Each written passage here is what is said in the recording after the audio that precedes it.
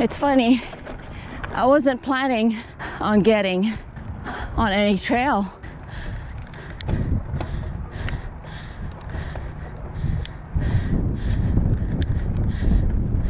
Out on the coast lately, the sun doesn't show up till around in the afternoon, five miles inland, and we have sunshine. It's beautiful today. Yeah, it's nice to be out today. So I wasn't expecting to get on a trail today, and here I am. So I'm just up for a ride because I don't have any errands, I don't have to do anything. There is always climbing involved. I just have learned to embrace it. What a nice day today. It's quiet. I didn't plan on getting on dirt. The beautiful thing about my bike it can handle it. I can go from the road, and if I decide to hit the dirt, I can hit the dirt. I'm not as good of a rider as a trail rider, but I do what I can and stay safe. Have fun. I ride within my ability, and this is just nice. A couple days ago, I was doing all errands. I didn't use the bike for the errand because I had to go to the store and get big purchases. I didn't ride the bike at all, and I didn't weight train. All day that day, I was hungry. I couldn't get enough calories in my system. I think by the time I went to bed, I've consumed 5,000 calories or more. And those calories are coming from fatty cuts of meat. An hour before going to bed, I had two big bowls of oats with whey protein. It was quite a bit of calories. Hi, squirrel. When I woke up the next day, I only had like shy of six hours of sleep. I woke up with such good amount of energy. Yeah, it was insane. Now that's a thoroughbred or a stallion, and I have the meal right here. Because of how much activity that I am doing now, the, the way my body's burning energy has changed.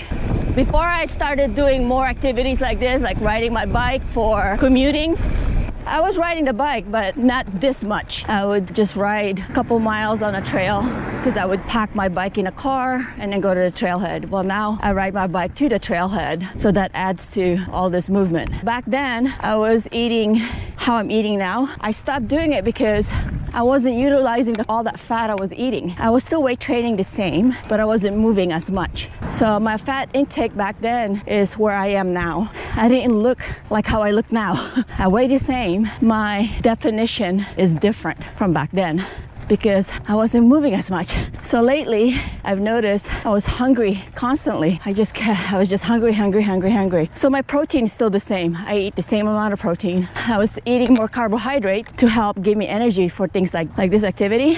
I'm having problem um, maintaining the carbohydrate energy for me. So I tweaked it to eat a little bit more fat, a little less carbohydrate. Like right about now, I'd be starving, but I'm still good.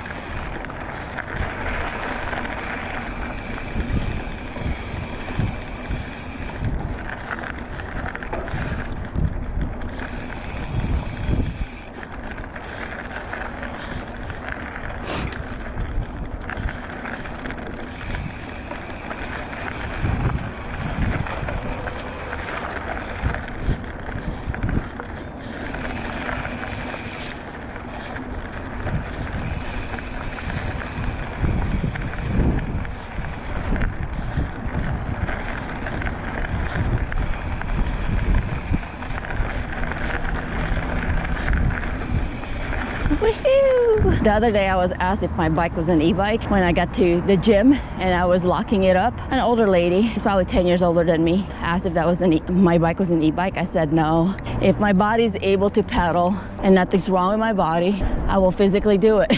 Again, that's just me. Just because I'm in my 50s doesn't mean I'm trying to make my life easier. My bicycle is has what's been keeping me healthy throughout this COVID. I have nothing against e-bikes. If that's what you can ride, that's what you can ride. Until the next one, bye.